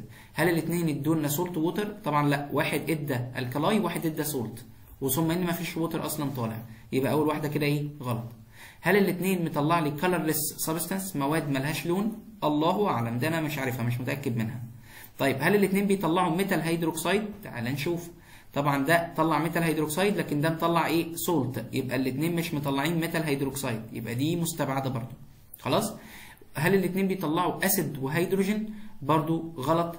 مش بيطلعوا acid وايه وهيدروجين يعني كده الإجابة هتكون إيه هتكون B بالاستبعاد ولمعلوماتك group 1 a ما بيكونوش solutions ليها colored لا دايما ال solutions بتاعتهم بتبقى colorless ملهاش إيه؟ ملهاش ألوان. وهتعرف ده بالتفصيل إن شاء الله ليه في ثالثه ثانوي في أول درس على طول يعني. Worked example بيقول لي when a piece of sodium is left in air a layer X is formed. سبت الصوديوم في الهواء فاكيد ال layer دي هتبقى layer إيه؟ oxide خلاص كده؟ طيب is formed on its surface. By dissolving this layer in water a solution Y is produced. اتكون solution Y. طالما دوبتها في ال water وتكون solution Y يبقى ده كده alkali وطالما alkali يبقى آخره إيه؟ يبقى آخره OH قال لي what is the chemical formula of X and A Y طبعا آه هنا دلوقتي اللي هيتكون قلنا Y ده هيبقى OH يعني الإجابة يا B يا إما إيه؟ C وهستبعد A و D فاضل لي بقى لما اسيب الصوديوم في الهواء يتكون لي إيه؟ sodium oxide اللي هو ال normal oxide ولا هيتكون لي sodium peroxide طالما الصوديوم left in air سايبه في الهواء يبقى بيكون لي ال normal oxide الطبيعي يعني كده الإجابة هتكون إيه هتكون B مش هيكون ال per إيه البيروكسايد خلاص كده؟ طيب property number 7 بيقول لي reaction of alkali metals with hydrogen. هنفاعل ال alkali مع الهيدروجين. طيب الهيدروجين ده في group 1 A معاهم. group 1 A كلها ال oxidation number بتاعها ثابت ب plus 1 حتى الهيدروجين بيكون بكام؟ ب plus 1 إلا لو الهيدروجين ده ارتبط ب metal من group 1 A من نفس الجروب يتحول ال oxidation number بتاعه بكام؟ ب negative 1 فيكون لي metal hydride أو ionic hydride يعني إيه الكلام ده؟ أدي إيه؟ الليثيوم أهو. تمام؟ الليثيوم مع الهيدروجين هيكون لي ال اي اتش ليه طلع ال اي اتش ما هو أصل الليثيوم بي lose 1 والهيدروجين بي gain 1 فنعمل cross يطلع اسمه إيه؟ ال اي اتش خلاص كده؟ طيب هنا دلوقتي اتكون لي اسمه ال lithium hydride أو sodium hydride. خلاص كده؟ طيب ال hydrides بقى ديت أنا عندي ال oxidation number بتاع الليثيوم اهو ال اي اتش ده. ال oxidation number بتاع الليثيوم ثابت ب 1 الهيدروجين ما اعرفوش طالما ما فيش إشارة فوق يبقى بساوي ال compound بكام؟ ب zero. اودي ال1 الناحية الثانية فيطلع الهيدروجين بكام؟ ب negative 1 يبقى أصبح كده دلوقتي الهيدروجين طول عمره ثابت ب positive 1 إلا لو جه مع ال group 1 A مع ال alkaline metals فيدي negative إيه 1 ال hydride بقى بيبقى reducing agent ليه reducing agent لأنه بيدي الهيدروجين. اللي فاتوا ال oxides كانوا oxidizing agents لأنهم بيدوا الأكسجين. يبقى اللي بيدي الأكسجين oxidizing agent اللي بيدي الهيدروجين بيبقى reducing إيه؟ agent خلاص كده؟ because they react with water وال hydrogen gas evolves. وال hydrogen gas ده من ضمن الحاجات اللي بنقول عليها اسمها reducing إيه؟ agents. سؤال test yourself هنا بيقول لي when ionic hydride compound reacts with water it yields إيه؟ لما ال hydride يتفاعل مع ال water يدينا إيه؟ طيب إحنا لو رجعنا هنا هنلاقي إن ال hydride أهوت. أدي ال lithium hydride. لما اتفاعل مع ال water إداني lithium hydroxide يعني alkali. خلاص كده؟ وإيه الجاز اللي طلع؟ الهيدروجين إيه؟ ال hydrogen gas. فهو هنا بيقول لي هيطلع لك إيه؟ هل هيطلع لك acidic solution طبعا غلط. طيب هيطلع لك positive hydride ions طبعا الهيدروجين بيكون ال oxidation number بتاعه بال negative فبالتالي مش positive ولا هيكون basic solution آه basic solution صح لأن هو هيطلع لي OH ولا negative metal ion فبالتالي ال metal أصلا بيكون positive دايما مفيش إيه ما بيكونش negative property number 8 بيقول لي ال reaction بتاع ال alkali metals with مين with acids خلاص؟ فقال لي هنا ال alkali metal بيعملوا replace للهيدروجين بتاع ال acid وبيحصل برضو reaction بيكون vigorous reaction زي مين؟ زي آدي الصوديوم أهوت. لما يتفاعل مع ال hydrochloric acid فالصوديوم is more active than الهيدروجين فبي replace الهيدروجين ويدينا NaCl ده salt وايه تاني و H2 gas. طب ال H2 ده burns with pop sound. فبالتالي برضه بيكون vigorous reaction يعني إيه كلمة vigorous reaction يعني تفاعل إيه؟ عنيف. خلاص؟ آه كده إحنا جربنا نعمل آه اولا هم عندهم 1 في ال outermost ليهم large atomic radius عملنا لهم ال dry test بتاعهم. ال reaction بتاعهم مع ال air اللي هو النيتروجين يعني و reaction مع الاكسجين و reaction مع ال water آه و reaction مع الهيدروجين ودلوقتي جربنا مع مين؟ مع كمان ال acids. خلاص؟ ادي كده 8 properties ندخل في number 9 number 9 بيقول لي reaction of alkali metals with non-metals مع ال non-metals إيه اللي هيحصل؟ طيب أنا عندي كده ال metals دول دول group 1 a. طب وال non-metals دول أي حاجة من بعد group كام؟ من بعد group 4 a يعني 5 a 6 a 7 a. فدلوقتي لما أجيب metal مع non-metal هيكون لي أنهي compounds هيكون لي ionic compounds فبالتالي ال ionic compounds دي بتبقى اسمها إيه؟ salts تمام كده؟ طيب هيكون لك ionic halides اللي هي halide أصلا كلمة halide دي معناها salt زي مثلا صوديوم مع كلورين يدينا صوديوم كلورايد ده ال table salt بوتاسيوم مع برومين يدينا بوتاسيوم بروميد وبرده ال reaction ده بيكون reaction vigorously تفاعل عنيف. ليه؟ لأنه strong metal مع strong non-metal فبيديني إيه؟ salt وال reaction بيبقى قوي. خلاص؟ طيب لكن لو جبت مع metal مع non-metal بس ضعيف شوية زي ال sulfur أو ال phosphorus ال reaction ده بيحتاج heat بيحتاج hot alkali metal بيتفاعل directly مع ال sulfur وال phosphorus ويدينا صوديوم sulfide أو بوتاسيوم phosphide وساعتها برضو إيه ال reaction ده بيديني إيه؟ بيديني salt في note بقى هنستخدمها في ثالثه ثانوي إن شاء الله بس دي مهمة جدا جدا جدا. ال note دي بتقول لي إن أي salt فيه alkali metal بيبقى soluble in water زي إيه ال salts اللي فيها alkali metal أي زي مثلا أهو صوديوم كلورايد يدوب في ال water صوديوم كربونيت هيدوب إيه برضه كمان في ال water صوديوم nitrate طب كل دول هيدوبوا في ال water ليه؟ عشان فيهم صوديوم من group 1 A طب بوتاسيوم sulfate تمام كده؟ برضه هيدوب في ال water عشان فيه إيه؟ بوتاسيوم يبقى أي حاجة من group 1 a بتكون لي water soluble salt يعني ملح بيدوب فين؟ في المية. خلاص كده؟ آخر property اللي هي number 10 بيقول لي action of heat on alkali metal oxygenated salt يعني إيه الكلام ده؟ هجيب salt فيه alkali metal بس ال salt ده لازم يبقى oxygenated ما هو خد بالك ال NaCl ده ده salt بس أنا مش عايز ده. أنا عايز ال salt اللي فيه اكسجين زي ده مثلا KNO3 بوتاسيوم nitrate K2CO3 بوتاسيوم كربونات Na2CO3 صوديوم كربونات وهكذا. خلاص كده؟ هنا عندنا في حاجتين هنتكلم على الكربونات وهنتكلم على ال nitrate. فقال لك ال alkali metal oxygenated salts بيبقوا thermal stable مستقرين حراريا. يعني إيه الكلام ده؟ يعني كل الكربونات don't decompose by heat except ما عدا الليثيوم كربونات طب لما هم don't decompose مش بيتفككوا أمال بيحصل لهم إيه؟ بيحصل لهم melt يعني إيه الكلام ده؟ يعني أنا لو جبت دلوقتي أي metal كربونات عندك صوديوم كربونات بوتاسيوم كربونات آه روبيديوم كربونات أي metal كربونات من دول وابتدي اعمل له heating إيه اللي هيحصل؟ ال mass بتاعته هتفضل ثابتة. ليه؟ لأن هو مش هيحصل له decompose مش هيتفكك. يبقى أنا لو جبت علاقة ما بين ال temperature وال mass بتاعة ال salt ال mass is constant هتفضل ثابت لأن هو مش هيحصل له decompose مش هيتفكك. أمال هيحصل له إيه؟ هيحصل له melt هينصهر. فلما ينصهر ال mass بتاعته ثابتة مش هتتغير. خلاص؟ أمال لو جبت ليثيوم كربونات بقى ليثيوم كربونات ال mass بتاعته اللي هو Li2 CO3 لو جبت علاقة مع ال temperature هلاقي ال mass بتاعته بيحصل لها إيه؟ بتقل لغاية لما تثبت. بس مش هتنزل كتير هتنزل حتة صغيرة. عشان إيه الجاز اللي هيطير منه؟ ال carbon dioxide تعال نشوف بقى أهو. Li2CO3 عند 1000 degree Celsius يتفكك يدينا Li2O كده حصل له decompose كلهم don't decompose except ما عدا مين؟ الليثيوم إيه؟ الليثيوم آه هو اللي بيحصل له decompose وبيطير منه ال carbon dioxide فال mass بتاعته بتنقص سنة بسيطة. خلاص كده؟ ال metal بقى nitrate بيحصل لهم decompose partially by إيه by heat بيتفككوا بال heat زي مثلا صوديوم nitrate يدينا أخوه الصغير بقى اسمه صوديوم nitrite وإيه الجاز اللي هيطلع؟ oxygen gas. ال reaction بقى بتاع ال metal nitrate ده هو ال reaction اللي بنستخدمه في حاجة اسمها ال gunpowder يعني إيه الكلام ده؟ زي مثلا البوتاسيوم nitrate ده أو اللي هو بنقول عليه اسمه ال saltpeter ده بيكون هو بي هو استخدامه في ال gunpowder اللي هو البارود. البارود ده اللي هو اللي بيستخدم في في في المفرقعات والمسدسات والحاجات ديت. خلاص كده؟ فقال لي هنا البوتاسيوم nitrate ده decomposes partially by heat ويتفكك يدينا نفس الكلام. بوتاسيوم nitrate يدي بوتاسيوم nitrite وبرده إيه الجاز اللي هيطلع؟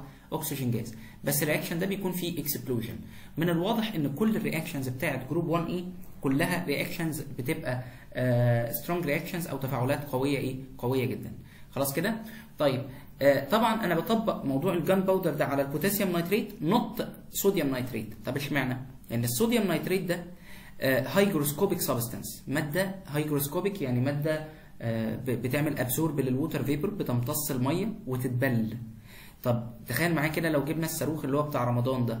الصاروخ ده هل لو لو جبناه وبليناه بمية هيفرقع؟ طبعا لأ. فلما تكون الحاجة hygroscopic يعني absorb ال water vapor فبالتالي مش هتعمل ال reaction اللي هو فيه heat ده فبالتالي مش هيفرقع. فأصبح كده دلوقتي ال sodium nitrate not used از إيه gun powder ليه؟ لأن هو hygroscopic substance يعني مادة بتعمل absorb لل water خلاص كده لحد دلوقتي؟ يعني مادة بتمتص الايه المية. Uh, تعال نشوف ال worked example ده. بيقول لي what is the uh, what is the graphical figure which change in mass of 1 جرام من ال sodium carbonate قول لي إيه تأثير ال heat على ال sodium carbonate كنا قلنا إن ال alkali metal carbonate don't decompose مش بيدو مش بيتفككوا بالإيه؟ بال heat. ما عدا ال lithium carbonate فده بالتالي مش هيتفكك بال heat لكن هيحصل له melt هينصهر. طب هل ال mass بتاعته هتنقص؟ ولا هتفضل ثابتة؟ يعني هتفضل ثابتة كده؟ ولا تقل؟ ولا تقل كتير؟ ولا إيه الدنيا؟ طبعا هتفضل ثابتة. يعني الإجابة هتكون إيه؟ هتكون إيه؟ خلاص كده؟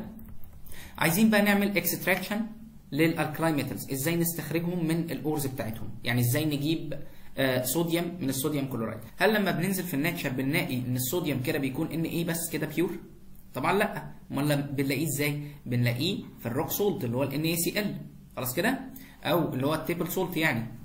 فأصبح كده دلوقتي إحنا مش بنلاقيهم individually مش بنلاقيهم لوحدهم. لكن بنلاقيهم في ionic compounds طيب عشان هم سهل إن هم يعملوا lose لل electrons دول. أمال إزاي أبتدي إن أنا أطلع الصوديوم لوحده ده من ال sodium chloride؟ عن طريق process عملية اسمها electrolysis electrolysis معناها تحليل كهربي أو تفكيك كهربي. لمين؟ لل molten. للمس... للمولتن معناها المصهور بتاعهم. خلاص كده؟ حاجة المنصهرة إيه؟ بتاعتهم. بس مهم جدا إن إحنا نستخدم حاجة اسمها flux substance خد بالك في بعض الكلمات بتستخدم معاك السنة دي ولو ما ركزتش في كل كلمة فده هي- هيضعفك كتير السنة الجاية في ثالثه ثانوي. خلاص؟ بس يعني آه أنا عارف إن أنت هتطلع ثالثه ثانوي هتقول أنا ناسي حاجات كتيرة لكن مع ذلك أول لما تتقال الكلمة وتترجم قدامك فتفتكرها خلاص كده؟ كلمة flux substance معناها مادة صهارة. يعني إيه صهارة؟ يعني decrease the melting point of the halide. يعني مثلا ال sodium chloride ده لو أنا حبيت أعمل له melting اصهره أسيحه فبيحتاج heat مثلا وليكن 700 إيه 710 degree Celsius خلاص كده؟ طيب لكن أنا لما أستخدم معاه flux substance يعني مادة صهارة مادة بتقلل من ال melting point بتاع ال halide يعني بتخليه بدل ما هو 700 بتنزل ال melting point لدرجة أقل عشان نوفر الايه ال energy دي. خلاص كده؟ طيب عايزين بقى نبتدي إن إحنا نعمل لهم extraction قلنا نعمل لهم extraction إزاي؟ عن طريق ال electrolysis ال electrolysis دي تفصيلا هرسمها كده بره أهو بنجيب container ال container ده بنجيب فيه source of battery بطارية هنا كده البطارية دي بيكون فيها طرفين طرف positive وطرف إيه negative خلاص كده؟ بوصل هنا ده الكترود خلاص؟ وده برضو كمان إيه الكترود ماشي؟ ال two electrodes دول اللي بيبقى متوصل بال negative ده بنقول عليه اسمه cathode واللي بيبقى متوصل بال positive pole بتاع ال battery بقول عليه اسمه إيه؟ انود يبقى cathode وإيه تاني؟ وانود وهنحط هنا بقى إيه؟ هنحط هنا ده مش solution ده مش محلول ده إيه؟ ده ال sodium chloride melt ده المصهور نفسه مع ال flux substance المادة اللي هي الصهارة دي اللي بتقلل من ال melting point خلاص كده؟ طيب بص بقى يا سيدي هنا بيحصل process عكس الايه ال process اللي كانت حاصلة في ال في ال عشان يحصل التفاعل. مش عارف أنا بقول إيه بس ما علينا هو بقول إن ال sodium chloride ده هو عبارة عن sodium positive و chlorine إيه؟ negative فأنا عشان أرجع الصوديوم تاني ده لأصله فالصوديوم كده عامل lose فلازم ارجع له الالكترون تاني لازم يرجع له الالكترون تاني. فمعنى كده إن الصوديوم يعمل له gain طب هو الصوديوم ده اللي ال charge بتاعته إيه؟ positive فيروح في اتجاه ال pole اللي عكسه. يعني إيه الكلام ده؟ أنا عندي الطرف ده negative والطرف ده positive فالصوديوم في بيروح في اتجاه ال pole اللي عكسه. يروح في اتجاه مين؟ ال cathode يعني ألاقي الصوديوم بيحصل له هنا كده بيجي هنا. والكلورين أهوت. هلاقي الكلورين بيروح في اتجاه مين؟ الأنود. خلاص كده؟ لأن ال chlorine negative فيروح في اتجاه الأنود اللي هو ال anode positive خلاص كده لحد دلوقتي؟ طيب هنا بقى إيه اللي هيحصل؟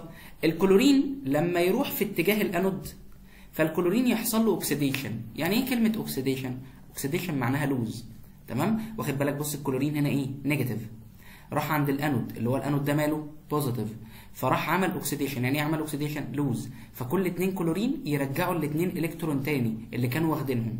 خلاص كده؟ طيب ده كده عكس العملية بتاعه التكوين في البداية. لو فاكر أصلا الصوديوم عشان يرتبط بالكلورين فالصوديوم عمل lose والكلورين عمل gain وارتبطوا ببعض. لكن دلوقتي أنا برجع كل حاجة لأصلها. الكلورين اللي كان عامل gain هيبتدي يعمل lose لل electrons تاني. lose يعني oxidation. lose يعني الكلورين ده كده اللي هو ال negative ion ده بنقول عليه اسمه إيه؟ reducing agent خلاص؟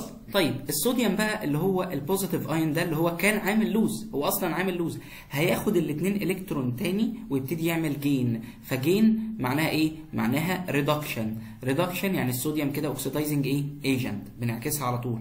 طبعا ال process دي بتحصل عند ال cathode اللي هو الإشارة بتاعته إيه؟ negative يبقى الصوديوم positive يروح في اتجاه ال negative والكلورين negative يروح في اتجاه ال positive وده يحصل له oxidation وده يحصل له إيه؟ reduction ألاقي الصوديوم هنا بيعمل precipitation في الحتة دي يترسب فوق مين؟ فوق ال cathode ألاقيه عمال بيتكون فلاقي ال mass بتاعة ال cathode عمالة بتتقل. طب الكلورين بيطلع عند الأنود بس في حاجة الكلورين ده جاز فبيطلع في صورة إيه؟ بيطلع في صورة bubbles فقاقيع كده بتخرج حوالين الإيه؟ حوالين الأنود دوت. خلاص كده؟ يبقى انت عشان تجيب الصوديوم أو والكلورين من ال sodium chloride بنعمل لهم process عملية اسمها إيه العملية دي؟ electrolysis يعني إيه electrolysis يعني تفكيك كهربي أو تحليل. خلاص كده؟ تعال نشوف السؤال هنا. Test yourself بيقول لي happens during uh, the electrolysis of sodium chloride melt. اللي اللي بيحصل وقت ال electrolysis ال mass بتاعت ال anode decreases. مين هو ال anode؟ ال anode positive مين بيروح عند الأنود؟ الكلورين. الكلورين ده بيطلع في صورة جاز فبالتالي ال mass بتاعته مش بتقل هتفضل ثابتة لأن هو بيطلع في صورة جاز فمش بيترسب فوقيها. خلاص؟ طيب. B sodium ions are oxidized معنى إن ال sodium ion oxidized oxidize يعني lose هو الصوديوم بي lose في ال process دي؟ طبعا غلط. لا الصوديوم بيعمل إيه؟ gain عشان أنا برجع الصوديوم زي ما كان. خلاص كده؟ يبقى B غلط. طيب. chloride ions are reduced يعني الكلورين ده بيعمل gain خلاص؟ reduced طبعا برضو غلط. ليه؟ لأن اتفقنا قلنا إن اللي هيعمل gain هو الصوديوم. والكلورين هيعمل إيه؟ هيعمل lose هيعمل العكس بقى. خلاص كده؟ طيب آخر اختيار. طبعا الإجابة هتكون D نجرب آخر اختيار برضو. mass of cathode ال cathode ده اللي هو negative اللي هو بيطلع عنده مين؟ الصوديوم. increases by time التقل بتاع ال cathode ده هيزيد. آه عشان الصوديوم هيعمل precipitation فوق مين؟ فوق ال cathode بعد كده هنبتدي إن إحنا إن شاء الله ناخد كام compound لل alkali metals زي إيه كده؟ زي ال sodium hydroxide اللي هو ال NaOH وهناخد كمان compound زي ال sodium carbonate Na2CO3 خلاص كده؟ ونبتدي نعرف كل compound من دول إيه ال properties بتاعته إزاي نعمل له preparation نحضره إزاي آه نستخدمه في إيه كل الكلام ده كله. فنبتدي نمسك أول compound اللي هو اسمه ال sodium hydroxide ال sodium hydroxide ده ليه اسم تاني ومهم جدا الاسم التاني بتاعه اسمه caustic soda ال caustic soda ده اللي هو بنقول عليه اسمه كده اللي هو بالعربي اسمه بوتاس خلاص كده؟ البوتاس ده مادة بيستخدموها عشان آه في ال... بيستخدموها في المنظفات والحاجات ديت. فهو اسمه NaOH طب لو خدت بالك من آخره هو آخره إيه؟ OH فمعنى إن هو آخره OH إن هو كده alkali وطبيعي أصلا ده هو أصلا من ضمن ال alkali metals طيب هنا عندي ال sodium hydroxide ده بنقول عليه اسمه hygroscopic substance وكنا قلنا كلمة hygroscopic substance من شوية. يعني إيه كلمة hygroscopic substance يعني مادة بتبتدي تعمل absorb لل water vapor بتمتص البخار بتاع المية اللي حواليها وال mass بتاعتها بتزيد.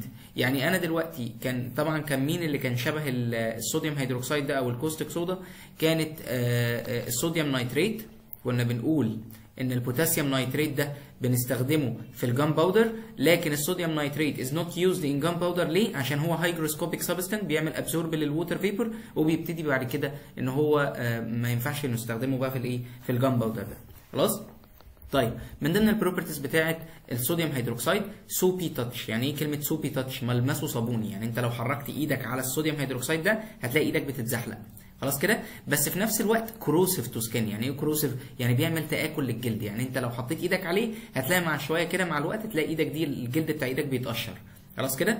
dissolves easily in water وإحنا اتفقنا أصلا قلنا إن أي حاجة فيها أي element من group 1 إيه soluble in water بتدوب في ال water بس لما بيدوب بيكون لي alkaline إيه solution يعني إيه alkaline يعني لو حطيت فيه ال litmus بيقلب للون إيه؟ بيقلب للون blue وكمان strong إيه؟ strong base and ال reaction is accompanied by releasing إيه energy. يعني إيه الكلام ده؟ يعني لو أنا جبت ال sodium hydroxide اللي هو الصورة ديت هو بيبقى عبارة عن white flakes يعني شرا يعني قشور كده لونها أبيض. القشور ديت بمجرد ما بتدوبها في ال water بيدوب لكنه بيعمل release لكمية كبيرة جدا من ال heat لأنه ال reaction بتاعه بيكون exothermic إيه؟ reaction exothermic reaction يعني بي release ال heat اللي جواه. خلاص كده؟ طيب فكمان بما إنه هو base فبيتفاعل مع أي acid وبيكون لي إيه salt و water وده ال reaction ده اسمه neutralization زي إيه كده؟ NaOH ده sodium hydroxide أو caustic soda مع ال HCl hydrochloric acid فالصوديوم is more active than الهيدروجين طب لما أحط الصوديوم مكان ال H فال H تدخل مكان الصوديوم فبالتالي يدينا NaCl و H2O طب هنا دلوقتي ده كده acid عرفت منين إن ده acid أوله حرف الإيه؟ ال H.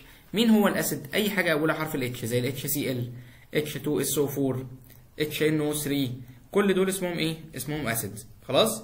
طيب ولو حاجة اخرها OH فبقول عليها اسمها base طب إيه الفرق ما بين ال acid وال base قال لك إن ال acid ده بيخلي ال litmus paper لونها red لكن ال base يخلي ال litmus paper لونها blue خلاص كده؟ فبالتالي طب لو أنا حطيت ال acid على ال base لو حطينا الاثنين على بعض فيحصل حاجة اسمها neutralization يعني إيه كلمة neutralization يعني تعادل. يعني إن الحاجة اللي هتطلع دي هتطلع salt وهتطلع كمان water ال salt ده مش هيكون ليه تأثير على ال litmus إيه؟ ال litmus paper خلاص كده؟ نفس الفكرة. جاب sodium hydroxide مع sulfuric acid برضو ادالنا صوديوم آه salt اللي هو آه sodium sulfate مع برضو إيه؟ water خلاص كده؟ يبقى اتفقنا قلنا أي acid مع alkali اللي هو ال sodium hydroxide هيدي لنا salt و water ويبقى اسم ال reaction ده اسمه إيه؟ neutralization يعني إيه كلمة neutralization يعني تعادل. يعني الحاجة اللي طالعة دي neutral متعادلة. طيب تعال نشوف بقى ال uses بتاعت ال sodium hydroxide بنستخدمه في إيه؟ ال sodium hydroxide بنستخدمه في ال paper industry بنستخدمه في ال synthetic silk اللي هو الحرير اللي هو المصنع آه بنستخدمه في making soap في صناعة الصابون السائل وده أهم استخدام ليه. خلاص كده؟ عشان كده لما بنجيب مثلا آه، آه، صابون سائل في البيت من اللي هو بيبقى من المحلات المنظفات مش بريل مثلا أو كده لا اللي هو بيتباع اللي هو السايب. فاحيانا مثلا لو حد بيغسل إيده بالصابون السائل ده أو بيغسل مواعين يعني بيه يلاقي ايديه بتقشر. طب ليه؟ أصل ده مش معمول له neutralization بالظبط ده هو حاطين sodium hydroxide كتير فبالتالي ال- بتلاقي الجلد إيه؟ الجلد بي بيتاكل بسببه لأن هو corrosive to إيه؟ to skin طيب إيه تاني؟ بنستخدم ال sodium hydroxide in purifying petroleum components يعني إيه؟ ب ب ب بنقي بيه المكونات بتاعة البترول. إزاي؟ عن طريق من ال ac- من ال acidic impurities بمعنى أصح إن البترول مثلا أحيانا بيكون فيه بعض المواد acids طب أنا عشان أتخلص من ال acids دي أروح حاطط لها حاجة تعمل لها neutralization إيه الحاجة اللي بتعمل neutralization base اللي هو مين؟ ال NaOH طيب بستخدم كمان ال NaOH in detection of acidic of basic radicals زي ال copper plus 2 وال aluminum plus كام؟ وال aluminum plus 3 وخد بالك الاثنين دول مهمين جدا جدا جدا عشان ثالثه ثانوي. انت بتكشف عن الكاتاين بتاع الكبر والكاتاين بتاع الالومنيوم عن طريق الصوديوم إيه هيدروكسيد بمعنى أصح حضرتك مش فاهم حاجة لحد دلوقتي. تعال نشوف ال reactions بتحصل إزاي وأفهمك واحدة واحدة الايه الموضوع ده.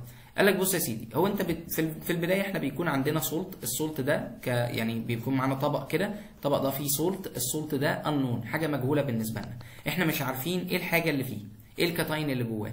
فاحنا بناخد شوية ال salt ده ونروح مدوبينهم في water زي ده كده. خلاص كده؟ فال salt لما بيبقى دايب بيبقى لونه colorless شفاف ما فيهوش أي مشكلة.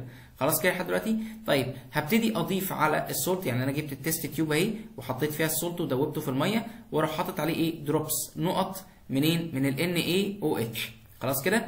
بمجرد ما أضيف ال sodium hydroxide ده لو لقيت اتكون blue ppt blue precipitate يبقى ده كده هنا copper يبقى ال solution ده فيه إيه؟ فيه copper طب افرض لقيت اتكون وايت بي بي تي وايت جيلاتينس بي بي تي يبقى ده معنى كده فيه إيه؟ فيه aluminum plus كام plus 3 خلاص كده لحد دلوقتي؟ طيب يبقى تاني لو اتكون لو أنا عندي salt unknown ال salt ال unknown ده هتعمل إيه؟ تروح مدوبه في شوية water وبعد كده تبتدي تضيف ان اي أو اتش ضفت ال ان أو اتش قدامك اختيارين يا يدي لك blue ppt يبقى copper يا يدي لك وايت بي بي تي جيلاتينس وايت بي بي تي يبقى ده مين؟ ال aluminum. خلاص كده لحد دلوقتي؟ طيب ندي المثال. عندنا ال salt أهوت اسمه إيه؟ كوبر سلفيت سي يو اس أو 4 ماشي؟ أنت مش عارف إن هو copper sulfate أنت ما تعرفش إيه اللي فيه. هتبتدي إن أنت تضيف له H فال sodium هي replace ال copper.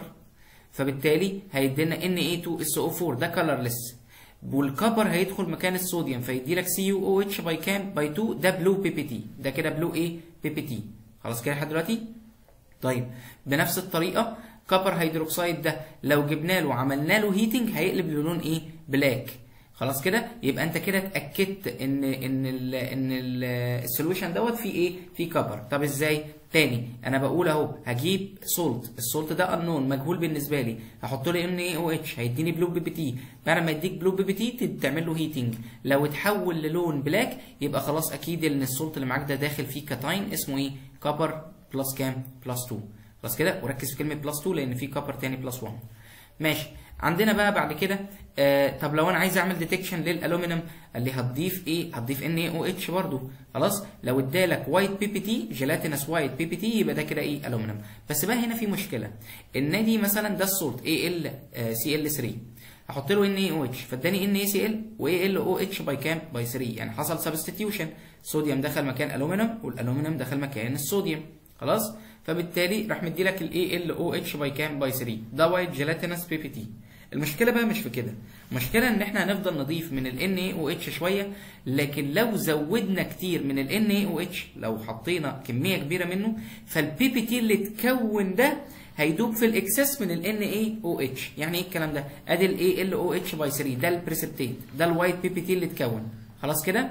لما اضيف له excess من ال NaOH تاني هيتكون حاجة اسمها sodium meta aluminate plus إيه water فعشان كده ال salt اللي فيه الومنيوم ده ال ppt اللي هيتكون هي dissolve في ال excess في of NaOH خلاص كده لحد دلوقتي؟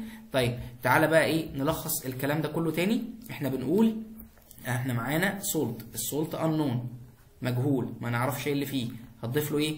هتضيف له NaOH sodium hydroxide قدامك اختيارين يا يدي لك blue لو عملنا له heating يتحول للون إيه؟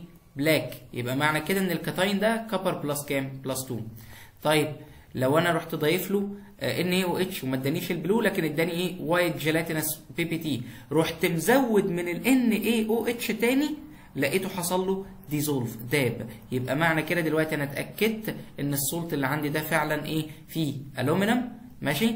يبقى معنى كده دلوقتي إن اللي اتكون آخر حاجة ده ال solution ده اسمه sodium meta إيه aluminate ركز بقى على ال physical state بتاعه اللي في ال equation.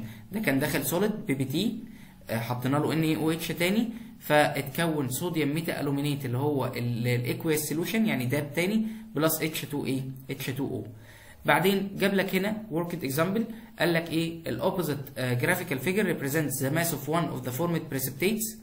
On adding drops of sodium hydroxide. بص كده دلوقتي إحنا بنضيف volume من ال NaOH فال precipitate mass بيحصل لها إيه مع الوقت؟ عمالة بتزيد تزيد تزيد تزيد تزيد وبعد كده ابتدت ترجع إيه؟ تقل. يبقى معنى كده إن ال precipitate ابتدى يتكون وبعد كده رجع يدوب تاني. خلاص كده؟ قال لي إيه بقى؟ قال لي a salt solution. Slowly. Till excess. يعني ضفنا وفرة. ضفنا كتير. فلما ضفنا الوفرة ابتدى إيه؟ يدوب أهوه. ابتدى يقل تاني. what is the solution إيه ال solution اللي اتكون ده. هل ال solution ده aluminium nitrate ولا iron sulfate ولا calcium nitrate ولا magnesium chloride طبعا بما إن ضفت ان اي أو اتش وتكون بي بي تي بريسبتيت يبقى يبقى ده يا copper يا إما الومنيوم ولما ضفت NaOH excess فداب يبقى ده كده الومنيوم يبقى أنا بدور على أي salt فيه الومنيوم مش مهم ال anion اللي معاه إيه. فطبعا هيبقى إيه؟ الومنيوم إيه nitrate. خلاص كده يعني الإجابة هتكون إيه تاني compound عندنا هو ال sodium carbonate Na2CO3 sodium إيه كربونيت تمام؟ ال sodium carbonate ده آه هو عبارة عن آه آه group من الكربونيت اللي هي CO3 دي negative 2 وصوديوم طبعا الصوديوم ده بيكون في group 1A فبيكون plus 1 plus 1 فلما بنعمل cross للأرقام بيطلع الرمز اسمه Na2CO3 طب هو عبارة عن white powder خد خد بالك ال sodium hydroxide ال NaOH كان white بس white flakes قشور لونها أبيض. ده برضو dissolve easily in water بيدوب في ال water طب ما طبيعي أصلا أي حاجة في ال alkali metals بيدوب في ال water وبيكون لك alkaline solution برضو التاني كان alkaline solution بيقول لي it's thermal thermally stable compound ودي كنا اتناقشنا فيها في ال properties في أول الدرس خالص. يعني إيه thermally stable يعني مستقر حراريا. يعني لو أنا جبت دلوقتي temperature heat وابتديت إن أنا أسخن ال sodium carbonate إيه اللي هيحصل لل mass بتاعته؟ هتفضل ثابتة. طب ليه؟ لأن هو هيحصل له melt مش هي مش هيحصل له decomposition الوحيد اللي كان بيحصل له decomposition كان ال lithium carbonate خلاص كده؟ طيب إيه تاني؟ قال لك it reacts with acids forming sodium salt of the acid and water و carbon dioxide gas طب ما طبيعي أصلا إحنا مش لسه قايلين إن هو alkaline يبقى معنى كده إن ده alkali base ال base ده لما أحط له hydrochloric acid acid و base يدي إيه؟ يدي salt و water بس plus في حاجة زيادة اللي هو مين الحاجة الزيادة دي؟ ال carbon dioxide إيه؟ جاز هنا بقى آه تعال نقول حاجة ملهاش علاقة بالمنهج بس إيه؟ بس حاجة قديمة يعني. how to detect carbon dioxide gas إزاي تعرف إن الجاز اللي طالع ده carbon dioxide بص يا سيدي أول حاجة ال carbon dioxide ده عشان نعرف إذا كان هو carbon dioxide ولا لأ بنكون بنمرر الجاز ده في في حاجة اسمها lime water ال lime water ده بمجرد ما يمر فيها ال carbon dioxide يحصل لها turbid تتعكر. يبقى كده ال carbon dioxide turbid the clear lime إيه؟ water بيعكر ال lime إيه؟ ال lime water خلاص كده؟ فبالتالي أنا عشان أعرف فعلا إن لو حطيت acid على ال sodium carbonate وعلى فكرة التجربة دي أنتوا بتعملوها في البيت يعني شبيهة بنفس التجربة. إزاي؟ بنجيب حاجة اسمها إيه؟ كان زمان يعني لما لما كنتوا بتعملوا تجارب كده كنت بتجيب بالونة وتحط فيها sodium carbonate اللي هو بقى مش sodium carbonate كنا بنحط فيها كربوناتو اللي هو ال baking soda. اللي هو ال baking powder تحط تحطها في البالونة وتروح جايب إزازة. الإزازة دي فيها خل. وتروح حاطط إيه ملبس البالونة دي للإزازة. وتروح رافع تخلي ال powder بتاع ال sodium carbonate ده ينزل جوه البتاع ديت. فيبتدي إن هو يحصل evolution لل carbon dioxide gas فالبالونة دي تتنفخ. تجربة قديمة جدا يعني. تمام؟ طيب آه إيه علاقة دي بقى بالتجربة دي؟ أصل إحنا ما عندناش acid في البيت hydrochloric acid بس عندنا إيه مكان ال hydrochloric acid؟ عندنا acetic acid اللي هو الخل. خلاص كده؟ ما عندناش مثلا sodium carbonate في البيت بس عندنا sodium bicarbonate أخوه على طول اللي هو ال baking soda أو ال baking powder فبرضه بيديني salt وبيديني water وبيطلع carbon dioxide إيه؟ جاز. خلاص كده؟ أستخدم في إيه؟ ال sodium carbonate. بنستخدمه in making glass بنستخدمه في ال paper برضو industry في ال textile industry نفس الاستخدامات يعتبر باستثناء ال glass يعني. إيه تاني؟ بستخدمه in removing the permanent water hardness. يعني إيه بقى كلمة water hardness water hardness معناها عسر الماء. يعني إيه برضو عسر الماء؟ قال لك معناها إن ال water ده بيكون فيه كمية salts كتيرة أملاح كتيرة. الأملاح دي بتمنع إن المية دي لو حطينا فيها أي detergent أي منظف من اللي هو بيعمل رغوة بتمنع تكوين الرغوة ديت بتخليها مش موجودة. خلاص كده؟ فبالتالي ده دي حاجة طبعا رخمة جدا في المنظفات. يعني تخيل المنظف ده أصلا بيتعمل بمية. ماشي؟ يعني مثلا صابون السائل ده بي... بي... ال container بيكون معظمه water طب تخيل إن ال water ده أنا هحوله لصابون بس صابون ما بيرغيش. طب هل ينفع؟ لأ. طب ليه؟ لأن ال water ده بيكون water hard water أو بنقول عليه water فيه hardness يعني عسر من الماء. طب أنا عايز أشيل ال water hardness دي أشيلها إزاي؟ عن طريق ال sodium carbonate. ندي أمثلة. إزاي؟ قال لك بص يا سيدي إحنا عندنا أول حاجة هنحضر ال sodium carbonate in إيه in laboratory هنحضر ال sodium carbonate ده في المعمل وبعد كده نستخدمه ان ريموفنج الايه ووتر هاردنس طيب هنحضر ال sodium carbonate إزاي في ال lab؟ قال لك عادي جدا بنجيب sodium hydroxide NaOH ثم بنعمل passing لل carbon dioxide gas inside it فيدينا sodium carbonate plus إيه water تمام كده لحد دلوقتي؟ طيب. بعد بعد ما بنمرر ال sodium hydroxide ال carb... ال carbon dioxide في ال sodium hydroxide ويتكون لي ال sodium carbonate ده بنبتدي إن إحنا نعمل إيه؟ نسيبها إنها يحصل لها cooling فيبتدي يتكون لي حاجة اسمها washing soda أو اللي هو اسمه hydrated sodium carbonate يعني إيه بقى كلمة hydrated hydrated يعني ال composition تركيبه فيه water خلاص كده؟ طيب اللي هو Na2CO3 plus 10 H2O plus 10 H2O مش plus ده في dot هنا. ال dot دي معناها إن هو تركيبه كده. خدت compound في أول الدرس ده كان اسمه ال carnallite deposits اللي هي الكي سي ال دوت ام جي سي ال 2 دوت 6 اتش 2 اي أو كان تركيبه برضه hydrated فيه water خلاص كده؟ فال washing soda hydrated طيب تعالى آه نشوف بقى ال washing soda دي هنستخدمها في إيه؟ هتبتدي إنها تعمل ريموف للووتر هاردنس إزاي؟ بص يا سيدي إيه إيه طيب ال minerals اللي بتسبب ال water hardness قال لك ال minerals أو ال metals اللي هو الكالسيوم والمغنيسيوم. الاثنين دول لما بيبقوا موجودين في ال water بيخلوا ال water hard water يعني أو أو water فيه hardness فيه عسر من الماء. خلاص كده لحد دلوقتي؟ طيب عايزين نشيل ال water hardness ده هنشيلها إزاي؟ نروح حاطين sodium carbonate طب إشمعنى؟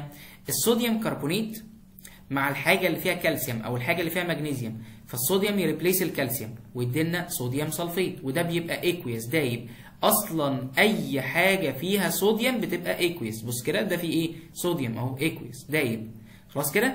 لكن ال calcium sulfate أهو ال aqueous ده لما يجي هنا الناحية الثانية بقى كالسيوم إيه؟ calcium carbonate. ال calcium carbonate بقى بيكون ماله؟ بيكون insoluble in water مش بيدوب في ال water خلاص كده؟ فأنت فصلت الكالسيوم من ال solution عن طريق precipitate إنه بقى بيترسب إيه؟ بيترسب لتحت. كده إحنا كان كان ال water كان فيها كالسيوم دايب. لما حطينا فيه sodium carbonate فال carbonate خدت الكالسيوم وترسبت تحت وما بقاش فيه كالسيوم في ال water. خلاص كده بقى ppt تمام كده؟ طيب آه إيه تاني؟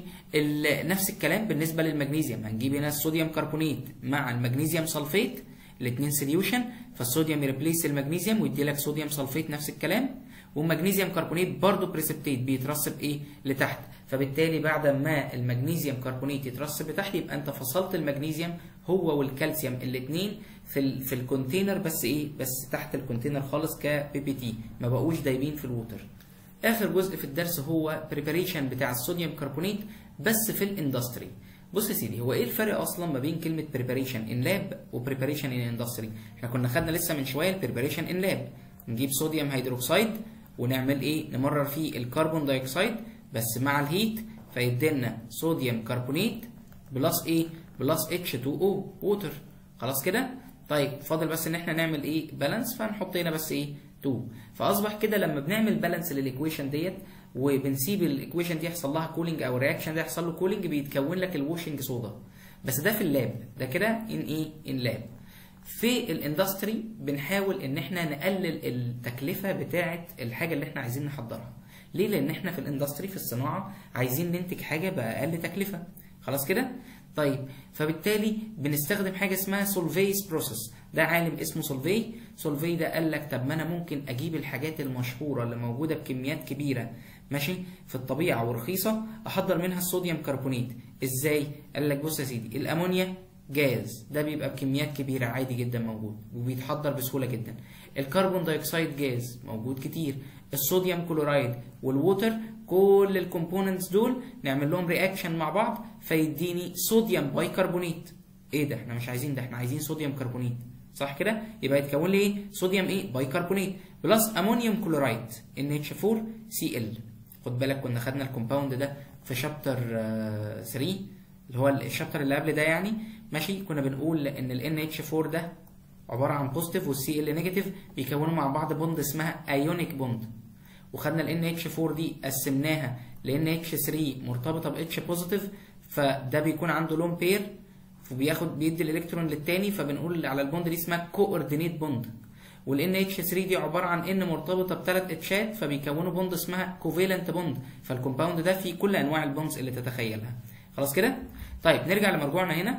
بقول إن ال sodium bicarbonate اللي اتكون ده مش هو ده اللي أنا عايزه أصلا. أمال إحنا عايزين إيه؟ عايزين sodium carbonate Na2CO3 فنبتدي نعمل heating لل sodium bicarbonate فيتحول ل sodium carbonate و water ويطير منه برضه إيه؟ ال carbon dioxide إيه؟ جاز خلاص كده؟ كده أنت عملت preparation تحضير.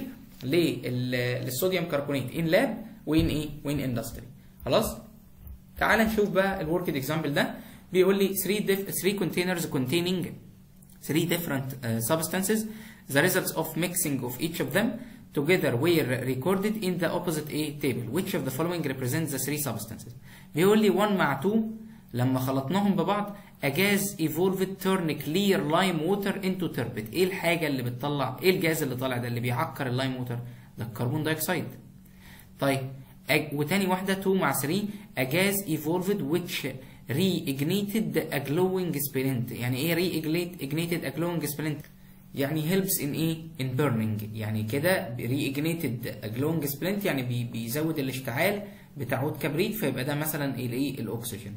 طب ليه ما قلتش مثلا هيدروجين لأن الهيدروجين ده burns with pop sound وهو ما قاليش على حاجة من دول.